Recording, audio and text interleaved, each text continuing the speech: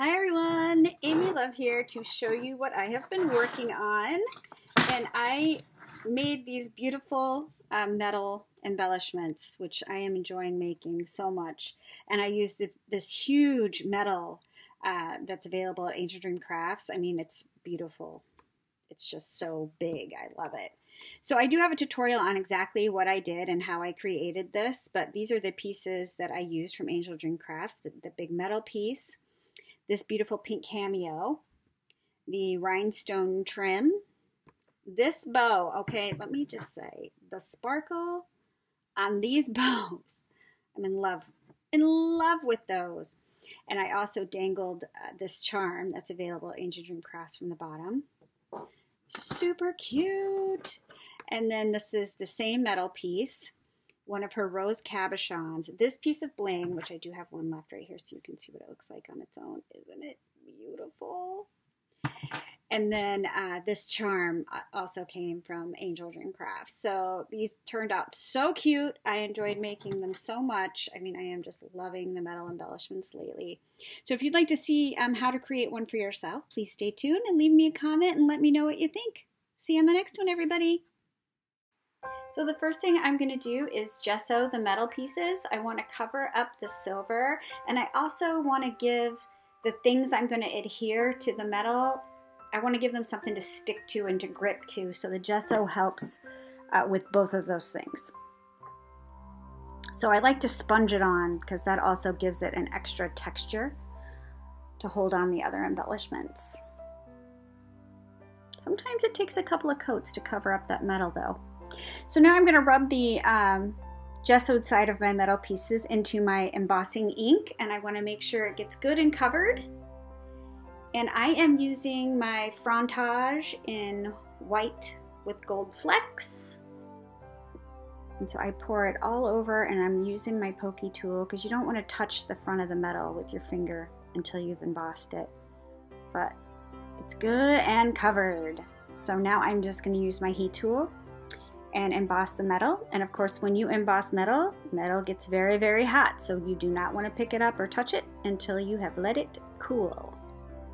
Don't make that mistake. That's why I'm using my pokey tool so I don't burn my finger.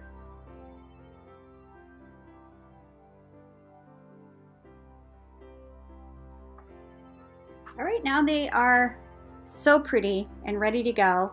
And I am going to use this uh, pink cameo from Angel Dream Crafts and I am using glossy accents around the edges but then I'm going to put a dab of hot glue in the middle so I can have immediate hold but then that uh, glossy accents is going to give it a more permanent hold than the hot glue will to the metal.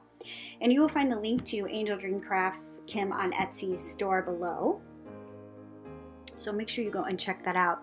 Now this is one of her rose cabochons and I'm going to do it the same way. Glossy accents around the edges and hot glue in the middle. super cute. And now one of my favorite things is uh, a rhinestone cup chain. I absolutely love it. And she is now carrying it. Yay! so I like to go ahead and pre-measure it because it gets a little messy. So it's best to have it already cut and ready to go. And I am going to use glossy accents to adhere the uh, rhinestone cup chain around the cameo. So I'm just adding it to the edges, uh, the outside edges of the cameo and to the metal. And it of course seeps through the. It does make a mess and you've got to watch it. And if you hold the rhinestone cup chain too long in one place, your finger will also get glued to the project. So just be mindful. Be mindful of that but I love the way rhinestone looks wrapped around all the things. Love it.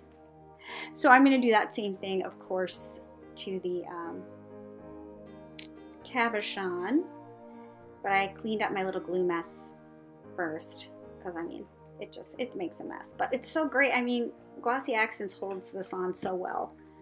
It's worth a little bit of mess because it holds the bling.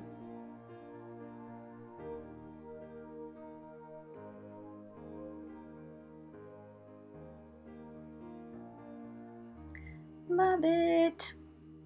I love these metal embellishments so much. I'm a little addicted to making them at the moment.